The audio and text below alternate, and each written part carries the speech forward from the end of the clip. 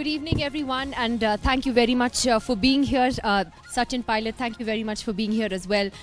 Just to begin with, uh, and keeping with the theme of what we're doing tonight, Sachin, I was actually amazed when my colleague Harsha just said that people who come to visit Rajasthan end up seeing only about 5% of the state. This is an incredible state with a rich heritage, a rich history. Uh, is there a plan that this newly elected government of yours has try and turn that around in the next few years and really tap into this huge potential? Well, Nidhi, as you know, Rajasthan is uh, one of the top attractions as a tourist destination in all of India. And I don't want to take credit away from people who have worked before in the state, in the government, in the department.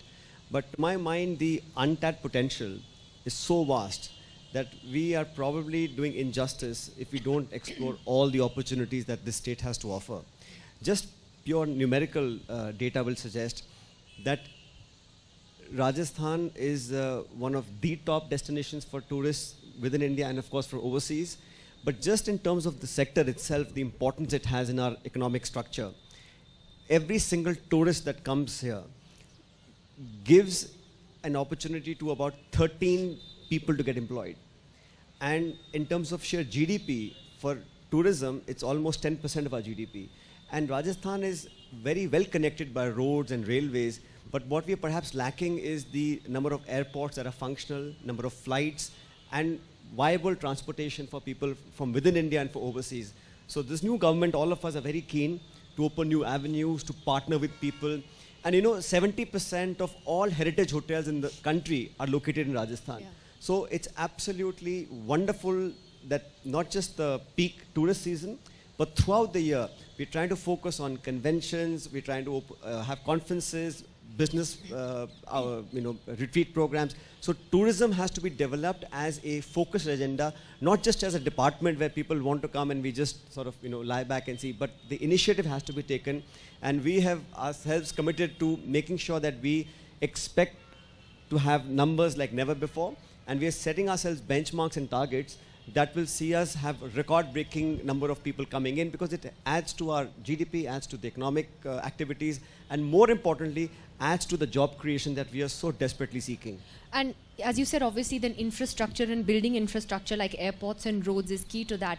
But also, you know, just the sheer beauty of, of the heritage that Rajasthan has. I mean, look at this building, right? One gets a sense that we don't um, showcase that in, in the best way possible. We have these amazing forts here. Uh, do you think that we're doing enough to really tell, for example, tourists who come from abroad about you know their, their heritage? Do we have that kind of infrastructure, those kind of tour guides that are, uh, uh, you know, or audio guides, and, and, and much better infrastructure within those forts in order to promote those uh, amazing structures? I think there is tremendous uh, curiosity amongst tourists who come to visit Rajasthan, not for the color and the, and the spectacle, but also about the heritage, the culture, the, the history behind so many of our monuments and castles and forts and landscapes. Um, I don't think we've done enough to kind of accentuate that aspect. Uh, there are, of course, issues about uh, tourists feeling safe and secure, uh, especially foreign tourists. Then one odd incident here or there will then, you know, certainly uh, throw people off. So what we are looking to do is have um, the hand-holding and comfort for tourists to travel from within the country and outside, so they feel safe. Because no tourism can happen if people feel unsafe. I mean, that's just a given. So that's the first thing to focus on. Second is that people also feel that are they getting fleeced? Are these touts? Are these people who are just after our money? So we want to have a dedicated partnership with people who have the information, the resources, and the bandwidth to be able to communicate these wonderful stories uh, in person and make it much more structured. Right now, I feel that it's very unstructured. When you land at the airport or a railway station, what you do from there on, you're totally dependent on the agent who booked you we want the government and its partners to come forward and make them feel homely and make them feel comfortable. So it's many, many areas, but like I keep saying, first and foremost is safety. People must feel secure, uh, must feel wanted, and the interface with the with the locals or with the tour guides or with the operators should be seamless, and it should be actually, uh, you know, the feeling of am I getting robbed? People think coming to India, Rajasthan, let's start bargaining. You know, they start dropping down the prices to like 100 the price, and then that's a mindset. So we must institutionalize all this. And I think we're heading the right direction. It's just early days, but we have so much uh, uh, potential in Rajasthan that uh, I'm absolutely confident that next few months and years you'll see a, a, a sea change. So you talked about why this is so important in terms of job generation, and that probably is the biggest challenge your government is facing, and your own ministries actually uh, are, are, very important in that. But what are the kind of sort of employment figures we're looking at? I mean, if you're able to really get tourism, which is already fantastic in this state, to the next level, you mentioned a figure just now. What one tourist can generate 13 jobs? Up to 13 job opportunities. So that's that that's really something that would be what a key focus then. It should be because you know states like Rajasthan and even Kerala for that matter, in the tourism industry is already well established. It doesn't need much marketing uh, within India and overseas, but how better to increase the footfall, how better to increase the number of people uh, in the in the official structure of our uh, economic uh, generation of, of resources. I don't want to give exact numbers. It sounds like boast, boasting, but I know that millions of people, millions of people, both skilled and unskilled, can easily harness the opportunity that uh, a growing tourism sector brings to Rajasthan. And as you know, we are a very large state. Geographically, Rajasthan is India's largest state in terms of area. So we have huge tracts of land. Uh, I think the amount of money that comes in as investment uh, for the tourism sector, the government will certainly add its own kitty to it and make sure that the connectivity is far better.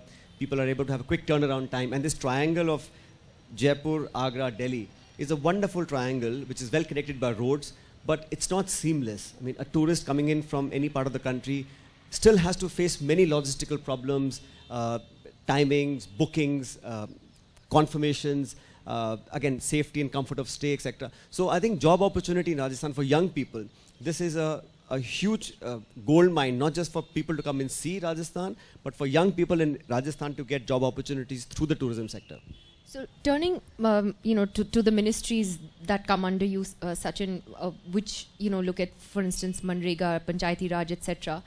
Uh, rural development, rural distress was a big issue in the run-up to this election, and it continues to be so. What is the sense you're getting about, let's say, and, and I'm, I'm going to ask you political questions now, uh, about, you know, how, for instance, demonetization has, has continued to impact, um, you know, farmers and the unorganized sector, let's say in Rajasthan, for example. Is it still a big factor? It still is. I think the single step of demonetization will have lasting effects on our economy. And I think it took about almost 10 months to a year for the real after effects of that to come to light. I think earlier people were taken in by the fact that, yes, the super rich, the extra wealthy, the ones with ill gotten wealth are the ones that have been targeted. But actually, it was the poorest of the poor who really felt the brunt of demonetization. And in rural parts of India, where the agrarian economy survives on a lot of cash trade, those were the people who were hit the most. And that has really now come to the fore, uh, you know, almost uh, two years after it happened. But the rural agrarian distress, the farmers being in a precarious situation, and all this while uh, the tall promises that we've been hearing from Delhi haven't really materialized. And that, therefore, I think that farmers and their kids, uh, they need a, a viable plan B, an option for them to be taken off the farmland, give some skilling and retraining, and they can be easily absorbed in, in areas such as tourism, uh, etc. But it's not a high investment uh, uh, option. We can easily reskill and retain young boys and girls who are in semi-urban areas or you know who have the um, ability to transform their professions from merely tilling the land to working, you know, as guides, as helpers in, in the hotel industry. So there are many options. But yes, the economic uh, uh, brunt of that one single announcement I think has really hit hard on, on majority of Indians, which wasn't really felt in the beginning, but now it's come to roost. So, you know, we're just literally days away from when the election dates will also be announced. And do you think that this issue of post demonetization of jobs, really, to be very honest, whether urban, rural, etc., will still dominate the political discourse, or do you think that that's all changed now to national security? Because you can see very much from the prime minister's uh, last couple of rallies that he's really making national security and attacking the Congress on national security as the central theme that he's focusing on. is that in a way moving attention away from the other problems that are genuinely there in the economy? Well, for one, the Honorable Prime Minister should stop attacking the Congress. I think what we have to attack is terrorism. And we sometimes forget in all this noise that our fight is not against a nation state. Our fight is not against a religion. Our fight is against terrorism, against insurgency, against people who, who swear by violence. And those are the people, groups, institutions that we have to attack and destroy. And in that endeavor, every single Indian stands united with any government of the day, whether it's this government or the next government or the next government. So there is no debate on that. I think a debate is futile if you keep challenging the opposition that you're not nationalistic enough, you're not supporting me enough. We are all one people. And we can have our differences which are political in nature, but for not for a minute should anybody outside our country feel that there are two parties or two groups, an opposition or government. We're all united, absolutely. But the narrative about the electioneering, somebody asked me a question a uh, couple of days ago in Jaipur, whether the next general elections will be fought in temples or on the borders. And I gave the answer, I said the next elections will be fought in the farmlands of India, in the gullies, mohallas, villages. Uh, that's where India lives, and that should be our priority to question our lives today as opposed to the lives five years ago, the promises we heard. So trying to mix up the two, uh, even though those in power may want to do that, but the Indian electorate is far more sophisticated. So when it comes to national security, for example, when the Indian parliament was attacked, uh, Mr. Vajpayee was prime minister. I remember the speech that Mrs. Sonia Gandhi gave on the floor of the house. She said, Mr. Vajpayee, you are India's prime minister, you are our prime minister. This attack on our parliament is an attack on India. Please give a befitting reply to Pakistan. We are with you. I mean, that's the kind of statesmanship that everyone has been displaying ever since this incident came to light. So I don't think there should be any attempts to try to divert the narrative and uh, not answer those very pertinent questions that we as opposition have asked. You answer those questions, come to the electoral battle. What, what, do you say to, to the Prime Minister when, you know, he, he is trying to change the narrative and make it only about national security and he's turning around and saying that the Congress party or anybody basically who's raising questions or asking questions or raising doubts, as he puts it, about the, the strikes, is, is anti national, is helping Pakistan. And how do you counter that narrative? First of all, I put out something. I said that, you know, these rumors, gossips, WhatsApp, social media, we should only believe what the government says. Because we must not fall prey to the propaganda or fall victims of fake news. I, frankly, when my foreign secretary gives a statement, I believe that statement. When the chief of air staff says something, I believe that gentleman. When the PM says something, I believe him. And that's, that's how it should be. Um, anybody else who tries to find double meanings or, you know, unnecessarily blames any individual or party that you're not supporting the army, you're not supporting uh, our armed forces, that is absolutely ridiculous. There is nobody, uh, as far as I know, who will never have faith in our institution as good as the army. So that allegation itself, I think, is baseless. But national security, our borders being protected, uh, fight against terror, there is absolutely no two questions or no two ways to think about that. But that does not take away from the fact that petrol and diesel is still selling at 80 rupees a litre, that farmers are still committing suicide, that there are no jobs, that the economy is craving for jobs, and we haven't been able to deliver on most of our promises uh, as the government of the day. So you can't take away from the fact that the deliverables are not there. So how will you shift the narrative back to those issues? Because you're right. I mean, national security obviously may be an issue for many people and genuinely so, but your, the economy, jobs is, is, is also a very, very big issue. Right now, the narrative seems to be focused solely on India-Pakistan, line of control, Masood Azhar, you know, etc., etc. How do you, how is how does the Congress as the principal opposition party plan to get that narrative back?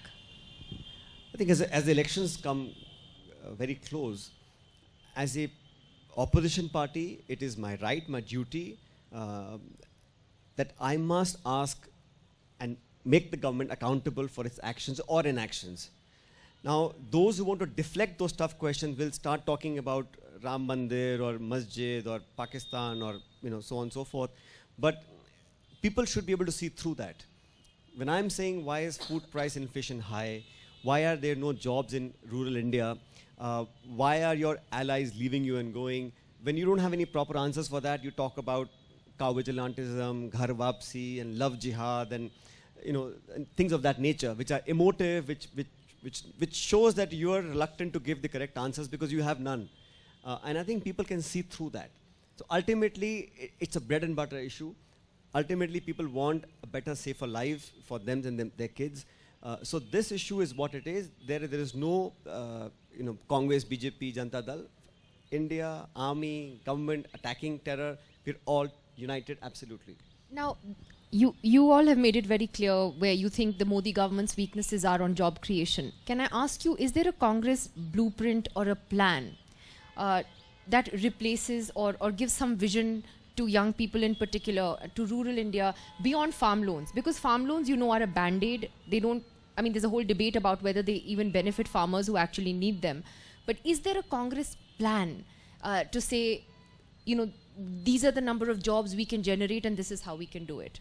Okay, so if you look back at the UPA government, I know it's very fashionable for those in today's government to keep pointing fingers at the previous government, but look at the facts. 140 million people, 14 crore people were lifted out of abject poverty in the 10 years of Manmohan Singh's government. Him as Prime Minister, right to food, right to education, NREGA, things that BJP was mocking. I remember the Prime Minister, when he gave, first gave a speech in Parliament, he said NREGA will be seen as a monumental disaster of the past.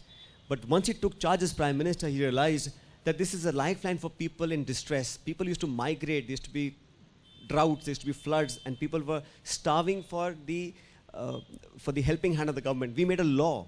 No other country in the world has this law that you will be given 100 days of labor if you ask for it. So these are things that we were able to do when we were in government.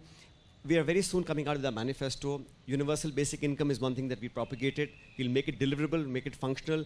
Unlike the BJP, which said that we'll double your income, we'll give 15 lakh rupees in your bank accounts, I think our manifesto will be much more rooted to reality, and we've, we have committed ourselves to actually doing the things that we promise. And I can tell you that in all my travels in Rajasthan and other states, jobs for young people is the single biggest issue that bothers families educated people. And people sometimes tend to think that unemployment is an issue.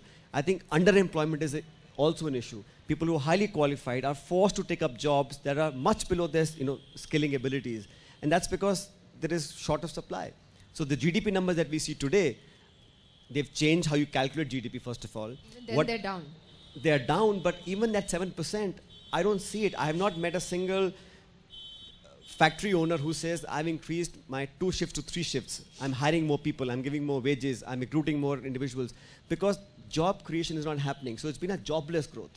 And that's a really worrying thing for a country as big and as young uh, as India. So, what do you think of these reports that have come recently that the government, because uh, you know, the NSSO draft report, they basically wanted to junk that, and that report said that unemployment was at a 45-year high, and they now want to look at what the Mudra loan scheme is doing, and use that as a sort of a benchmark to say that look, these are the number of jobs we're creating because we're giving people loans. X number of people have got them. They're entrepreneurs. They're able to start their own businesses. Now, even the Mudra loan scheme, you know, it isn't exactly something that's generating the kind of long-term employment that people are seeking, is it? You know, the average loan given out in the Mudra scheme is 50,000 rupees. Now, I want to ask the government that in 50,000 rupees, what sort of a business can you start?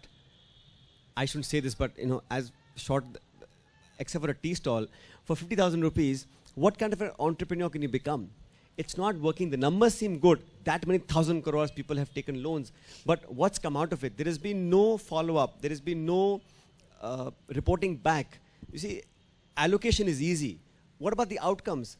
I have not seen the outcome report of the Mudra scheme, except for the numbers. How many new businesses have been registered? How many people have got employment because of the scheme? That's all opaque because this government believes in giving slogans Stand Up India, Shining India, Digital India, Swachh India. I mean, there are 13 naras like this in slogans. But what's the reality of it? Look at the Ganga. Is it any cleaner than it was? So I think this government's mastered the art of propaganda, of advertisement, of you know newspapers, television, social media. But on the ground, a lot of, in fact, most of their promises really have not come to fruition. Can I ask you that uh, when when when you sort of go into campaign mode even more uh, strongly now once the dates are out, do you get a sense that actually unemployment is a bigger issue than even say something like Rafale? Very honestly, I'm asking you. Rafale is an important issue. Rahul Gandhi keeps bringing it up again and again. He keeps holding press conferences on it. But do you think it's really resonating with people in the way in, in, in rural India, for example? I mean, honestly, do you think people beyond a point get you know care for I them? It's bread and bread and butter issues, no? You're comparing uh, apples and oranges. The bread and butter issues, the job issues are certainly the topmost in people's mind. But the question of credibility, corruption-free government, 30,000 crores is taken out and no answer given till date. It also begs the question that why are they hesitating from giving a straight answer? Why not have a JPC, a parliamentary committee to investigate? I mean, the French heads of state have, had have said things that are, you know, casting a shadow on, on your uh, execution of the Rafale program. So the Rafale issue is an issue by itself. It's made people ask the question and there's running away. Every time Mr. Gandhi asks a question, you know, there's a retort from the defense minister, etc. But no real data comes out, no investigation has been ordered, and they can't come out clean without giving the real facts. As far as the job issue is concerned, that's pertinent across India. I'm But only asking whether, as a detach the two. political party, you need to focus more on that than both. We will Rafale. question the government on its on its corruption-free uh, slogan on the Rafale deal. We will question the government on all slogans for creating jobs for young people. Minimum government, maximum governance. I mean, the kind of bureaucracy we've seen today, the kind of the, the, the systematic degradation of institutions, whether it's the CBI, the RBI, the ED. I mean, there's no credibility left. The CBI is raiding the CBI, the ED is ra- raiding ED. Every four Supreme Court judges are having press conferences. So the institutions have been really systematically dismantled in the last five years, and that's hurting our republic. Forget about BJP and Congress, but we must fight for what we've struggled so hard to create in the last seven decades. And India is strong because of our institutions being strong. See, people will come and go, governments will come and go, but institutions must remain sacrosanct. Okay, I'd like to uh, open the last few minutes of this interaction up to the audience. I'm sure there are people here who would like to ask you some questions, Sachin. Uh, if anyone would like to ask a question, can you please raise your hand? My goodness, this is the most. I love this yes, audience. Yeah, I know. It can't be. I know India is too uh, politically connected to not want to ask a question. Yes, ma'am. We're just getting the mic to you.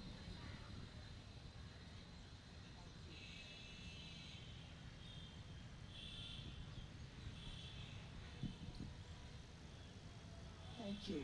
Uh, Should we shift uh, discussion back to tourism? Um, I have a very pertinent question. I'm a journalist who's been writing on heritage for 20 years now and working with the, uh, the performing communities of Rajasthan. My question to you, sir, is that, you know, if we keep sacrificing heritage at the helm of uh, development, and if Jaipur continues to look like any other metro, five years, ten years down the line, why will anyone come to Jaipur? Look at the, sorry for interrupting. Look at the the city, the walled city. You know, in the last two months, it's back to being dirty, filthy, mounds of garbage all over. You talk about the Parkota area. Gee, You see, I think we in the government are absolutely conscious of the fact that you can't allow development and commerce to o- overtake uh, what is so precious to us. You know, it's hundreds, if not thousands of years of history embedded, you know, in, in monuments and in uh, locations all over Jaipur and within Jaipur city itself. So very conscientious of that fact. It, it can't be a trade-off. I think they have to go hand in hand. You have to preserve, protect, uh, and, and safeguard for the next generations what we've inherited. But at the same time, it must not be closed up. It must not be two government bureaucrats controlling a monument which nobody can actually see and enjoy and learn from. So we have to have a middle path where the government opens up, safety in mind, retaining its, its structure and, and its security as, as, as, of paramount importance. At the same time, we must learn from other countries. And I think uh, we must be able to flaunt, we must be able to show and, and showcase it in, in appropriate fashion what we have inherited. But it takes a very fine walk between opening it up for commerce, letting people uh, pay money and then, you know, uh, not maintain the monuments as we see it. So I take your point that we have to do both.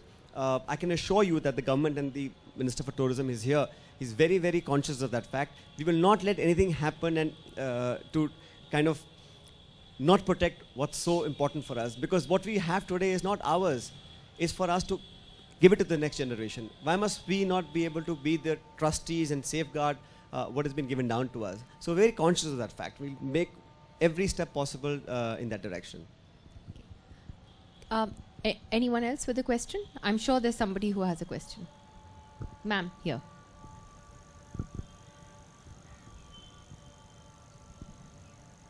Good evening, sir. My question is that what about the new circuits and the unexplored destinations in Rajasthan?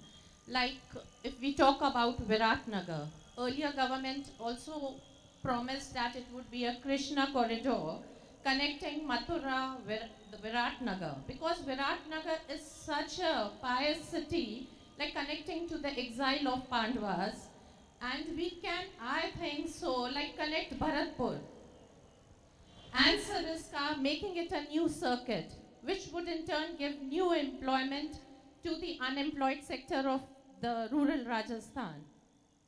I think today uh, the expectations have changed, and I think you rightly said that people are looking at more offbeat places to visit.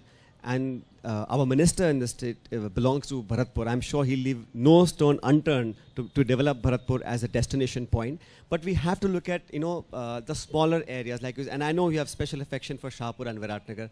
Um, we will try and explore new circuits, new areas, develop you know uh, not so common uh, destination points because Jaipur, Jodhpur, Udaipur have a lot of hotels, have a lot of connectivity, but the other ones, the unexplored towns and cities, you know, which have so much uh, serenity ar- around them, we have to explore those options. I'm happy to take any suggestion that you have in particular for Viratnagar and Shahpura. Even uh, Sariska is still unexplored. We already have, we have, we, see, I'll tell you, we have sanctuaries. So, national parks, sanctuaries, it's a little more difficult to uh, cultivate Develop and develop because they have environmental issues and we have to preserve our forest and natural reserves. But I think we must learn from some of the best practices around the world that how can you still preserve nature, parks, uh, etc., and still have it uh, open for people to visit. And I I also think in India, I I feel I should say this, that our culture of tourism, our, our behavior as, as tourists when we go to places should be more responsible. Somehow I think that we don't take it as seriously. We don't um, give it the due regard that it deserves, you know, and our habits and our actions. Uh, we, all of us, I'm not saying anyone particular, but we all as Indians, I think have to really be a bit more mindful of what we are doing. I, I go, you see Taj Mahal, Qutub Minar, you see people scratching on the walls, you know, earlier. And I think Oh, still throwing plastic bags, which is terrible. so I think that has to be a cultural shift. You can't mandate these things. You can't issue a government guideline for this. It has to be a cultural thing. It's a societal issue. And I think the younger generation, I have to give credit, they are far more conscientious. I think this cracker ban in the capital would not have been half as successful if young school-going kids uh, didn't really fight for that.